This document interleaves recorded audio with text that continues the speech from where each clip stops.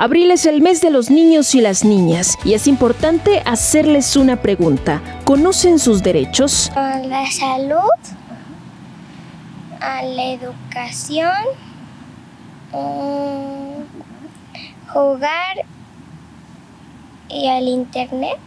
Me gusta jugar fútbol y basquetbol. Entreno con mis primos basquetbol. La Ley General de los Derechos de los Niños, Niñas y Adolescentes fue expedida por decreto presidencial el 3 de diciembre de 2014. Garantiza a la niñez y adolescencia mexicana 20 derechos, entre ellos a ser tratado o tratada por igual, a vivir sin violencia, a que se atienda su salud, a contar con un nombre y apellidos, a vivir en familia, a la igualdad sustantiva, a no ser discriminado e incluso a contar con Internet. Nos impulsa una seria reflexión sobre la importancia de atender no solo en abril, sino cada uno de los días del año.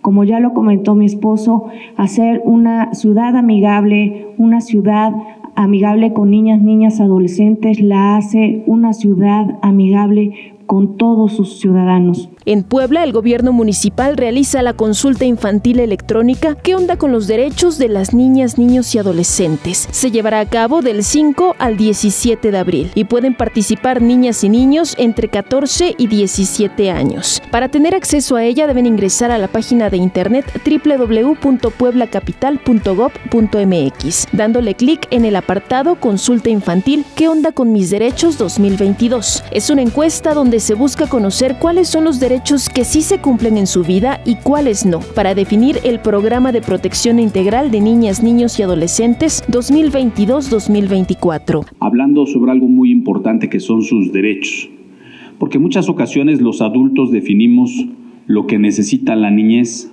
o la adolescencia, pero la pregunta es, ¿qué pasaría si les damos voz? ¿Qué pasaría si los escuchamos de lo que tienen que decir?